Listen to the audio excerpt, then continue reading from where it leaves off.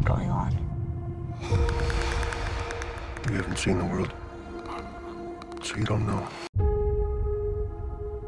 If you don't think there's hope for the world, Go east. You've come this far, and you know what's out there.